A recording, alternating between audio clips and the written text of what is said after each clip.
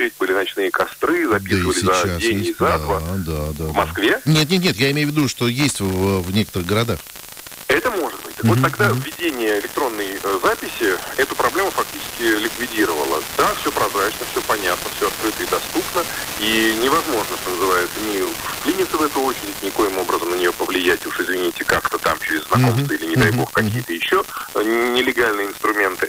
И это, в общем, за 2-3 года привело ситуацию в нормальный вид.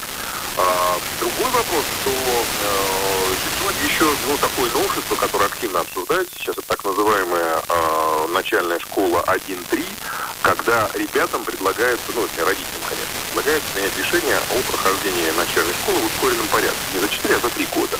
Эффективная начальная школа, так называемая. И, конечно, для того, чтобы ребенка э, взять в такой класс, ему предлагается какие-то, вот, показать уже такие навыки. Бывает так, что дома, например, его уже читать и, и, и каким-то образом там, может быть, считать и каким-то первичным навыкам. И он уже готов и достаточно быстро развивается. Это да.